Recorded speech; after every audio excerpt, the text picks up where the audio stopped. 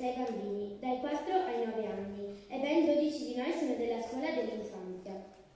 Quest'oggi abbiamo intenzione di portarvi a fare un viaggio nel tempo. Ebbene sì, dovete sapere che tra di noi si nasconde un vero genio, uno scienziato che all'età di 8 anni ha inventato una macchina del tempo. Vi, presen- vi presento Niccolò von Einstein.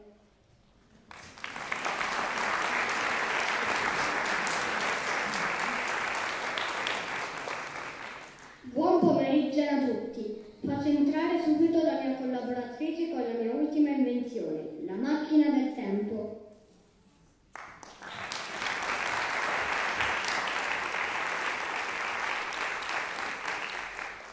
Ma sembra una scatola di cereali.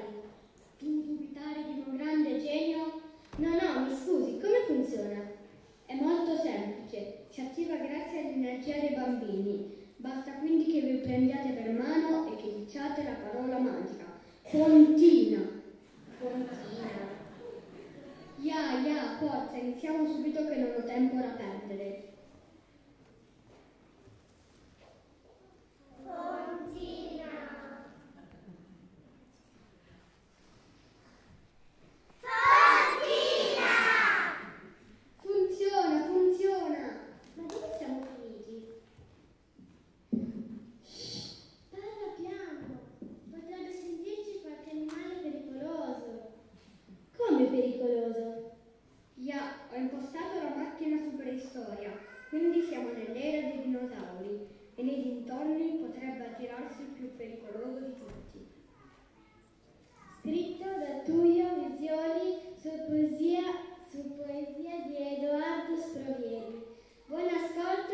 Tirannosauro, dirige la maestra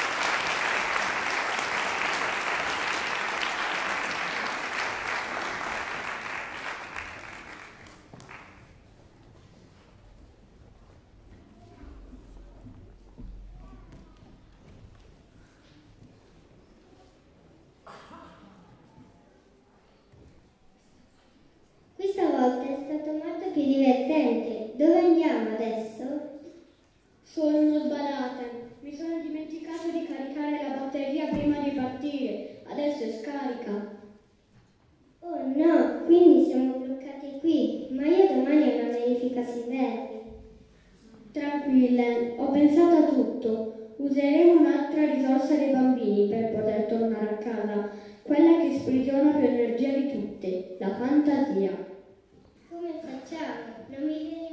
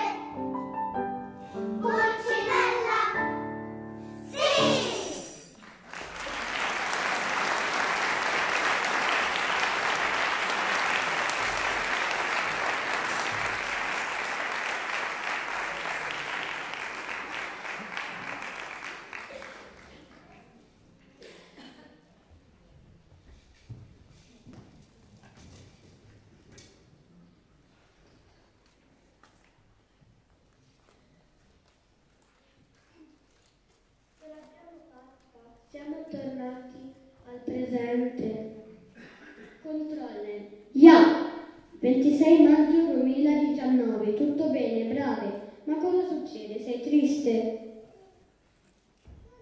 Sì, sono un po' triste. Viaggiando attraverso i secoli ho potuto vedere quante cose brutte sono successe nel mondo. È orribile, è sempre per colpa degli adulti. Ho visto che non molto tempo fa avevano anche provato ad andare d'accordo tra loro.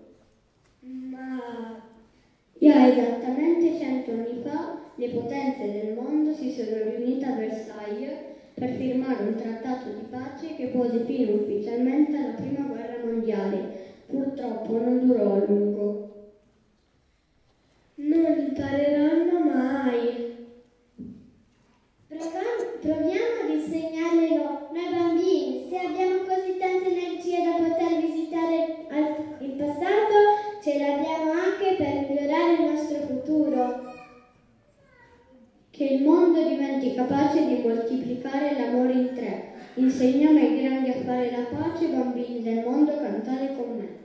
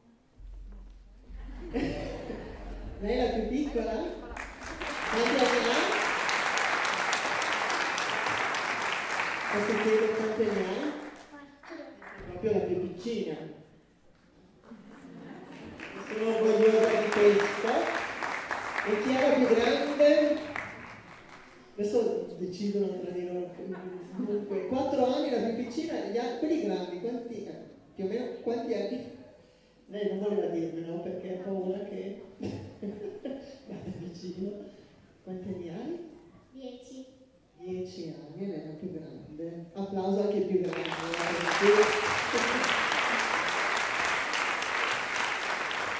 Quindi c'è del lavoro interessante perché è vero che sono tutti bimbi, però le voci, come già ci faceva notare con Farmigina, sono diverse e vanno lavorate anche in modo diverso. non è facile, soprattutto avendo tanti bimbi tanto piccoli, cioè sono quasi più della metà sono della scuola dell'infanzia, quindi anche solo metterci eh, eh, devo fare un po' Fate la posizione della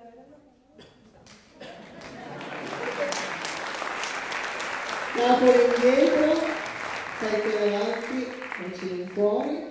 Allora, chi ha disegnato i disegni? Disegnato, ok? Chi ha colorato? Chi ha colorato? Bravi, questo è un lavoro corale. Parlaci anche di eh, Bin Lin che abbiamo sentito al pianoforte. Lui è il nostro ultimo acquisto, eh, quest'anno ci dà una figlia a fare questa tortura. Eh, Non so se notate, ma fanno sempre più passo indietro e faccio fatica. L'ultimo acquisto perché avevate bisogno di un sostegno anche musicale. Esatto, e abbiamo trovato un ottimo acquisto, oserei dire. Lui anche già canta nel coro delle rotatorie, non solo liceo musicale, quindi è già nell'ambiente. eh, Quindi diventerai un professionista della musica, del canto, questo è il tuo obiettivo? In parte sì, diciamo che è un, un obiettivo in secondo piano. Quest'anno c'era tra l'altro la maturità, poi prima passiamo alla maturità. Questo è l'obiettivo in primo piano? Però voglio dire, diciamo che insomma, i suoni, la musica sono nelle tue, nel tuo DNA. Sono davvero, occupano davvero un grande spazio nella, nella vita. Ce l'avevi in casa questa, eh, questa intenzione, nel senso che i tuoi genitori piuttosto che i tuoi parenti avevano musica nel DNA? No, ehm, i miei genitori non avevano nulla a che fare con la musica e no, più che altro sì, è, iniziato tutto con me. Poi mi hanno cominciato a praticare, ascoltare più musica dopo, dopo che ho iniziato a suonare. E grazie allora per metterla al servizio di questi piccoli, che sono sicura sono figli di qualcuno che canta in qualche coro, piuttosto che parenti, vero? Che sono certo che sono tutti qui. Grazie per eh, il filmato che ci avete presentato, per questa storia, questo viaggio nel tempo. È stato tutto molto molto bello, anche visto da dietro. Grazie, la corale di e ancora qui. Bravissimi!